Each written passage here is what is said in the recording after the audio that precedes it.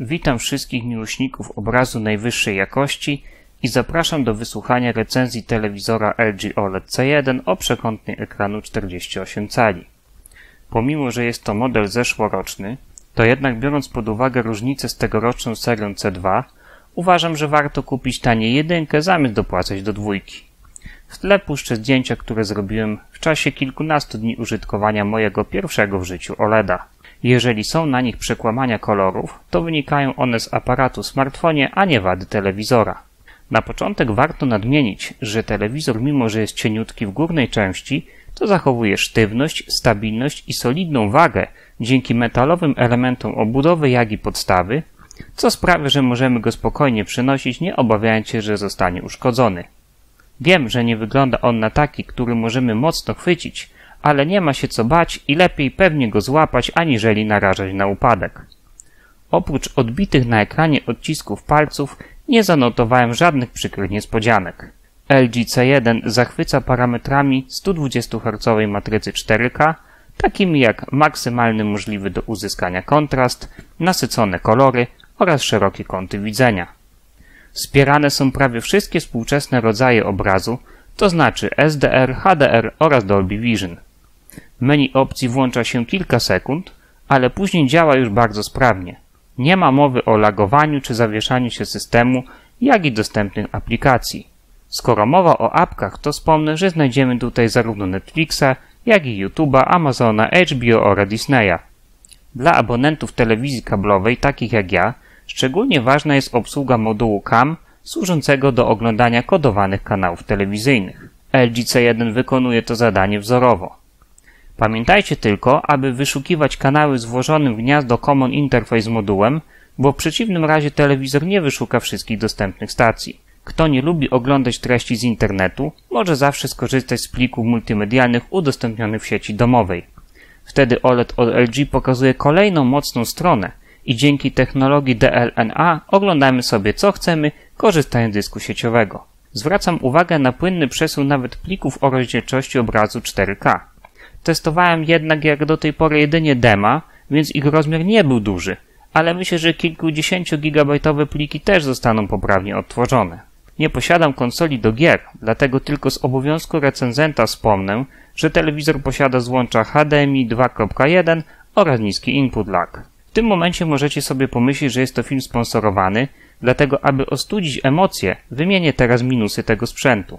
W porównaniu do mojego Samsunga, którego recenzja również znajduje się na kanale, gdy włączymy telewizor, nie możemy wybrać pożądanego kanału naciskając odpowiednią cyfrę na pilocie. Zawsze włączy nam się ostatnio oglądana stacja. Przyciski przełączania głosu i kanałów nie są pomalowane na górze oraz zbyt daleko odsunięte od środkowego kółka, co sprawia, że są nieczytelne i niepraktycznie umiejscowione. Ponadto przyciski i scroll klikają, co mnie, przyzwyczajonemu do ciszy pilota w koreańskim rywalu, nie podoba się. Chcąc zapauzować film, musimy wywołać wirtualne menu, bowiem pilot nie posiada odpowiednich guzików. LG C1 co prawda ma możliwość utworzenia listy ulubionych kanałów, ale nie ma możliwości zmiany przypisanych im numerów. Trzeba zatem najpierw edytować listę wszystkich kanałów, nadając im pożądaną numerację, a potem wrzucić do grupy ulubionych. Porównaniu do taniego Samsunga głos został jedynie wzbogacony o bas, a różnicę dla uszu przynosi dopiero dźwięk przestrzenny Dolby Atmos. Telewizor fabrycznie jest źle ustawiony, zarówno jeśli chodzi o domyślny tryb obrazu, jak i całą masę opcji, które należy zmienić lub wyłączyć.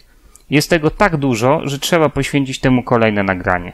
W świetle dziennym, gdy telewizor jest wyłączony, to mocno widzimy refleksy otoczenia na ekranie, ale po włączeniu nie przeszkadzają one prawie wcale. 120 Hz matryca niesie ze sobą możliwość poprawy ostrości oraz płynności ruchu. Z pierwszą opcją nie ma problemu, ale gdy upłynnimy obraz, to od pewnego stopnia, o którym wspomnę w filmie dotyczącym polecanych przeze mnie ustawień, na ekranie co jakiś czas pojawiają się irytujące artefakty. Do ideału dużo brakuje. Z niewiadomego powodu, aby zainstalować jakąś aplikację, np. TVP Sport, musimy zalogować się na konto LG. To nie tak powinno wyglądać. Konto powinno być możliwością, a nie koniecznością. Na koniec tych smutnych słów na temat C1 wspomnę o wciąż istniejącym potencjalnym problemie wypalenia matrycy, tak zwanym permanent burn-in. Kto nie potrafi prawidłowo eksploatować tego typu wyświetlaczy, niestety może być ofiarą takiego zjawiska.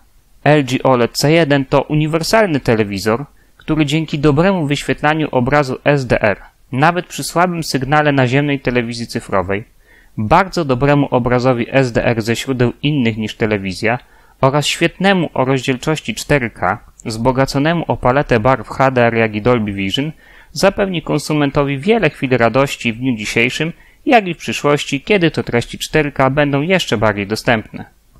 Minusy są, ale dotyczą nie tyle obrazu czy dźwięku, co innych aspektów, które co prawda mącą, ale nie niwelują przyjemności korzystania z OLED LG.